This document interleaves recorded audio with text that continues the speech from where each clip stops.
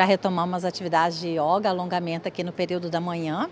E agora, nessa quarta-feira, dia 31, nós vamos retomar o forró, o tradicional forró da melhor idade. Bom, é importante a gente falar que é o momento também, né? O mais coloca a melhor idade em destaque aqui no nosso município é esse forró. Então, os idosos que nos acompanham aqui já preparar a roupa aí para o baile na quarta-feira. E já está fazendo essa divulgação. E os novatos que ainda querem se inscrever, a gente tem vaga, tem limite ainda para colocar mais pessoas.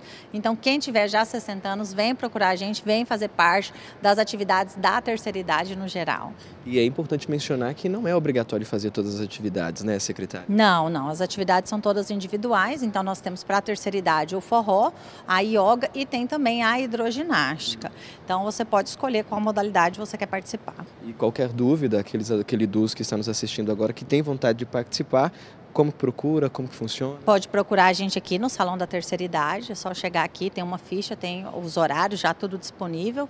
E daí na quarta-feira, às 15 horas, a gente já inicia o forró com o do aniversariante do mês. Então a gente já vai fazer o aniversariante do mês de janeiro nesse mesmo dia. E importante isso também, né? Todo mês a secretaria disponibiliza aí essa comemoração para os idosos que são assistidos aqui pela assistência social. Começamos já também no ano passado, todos os meses a gente faz a comemoração do aniversariante da terceira idade. Então, como a gente já retorna dia 31 de janeiro, a gente já vai fazer o aniversariante do mês.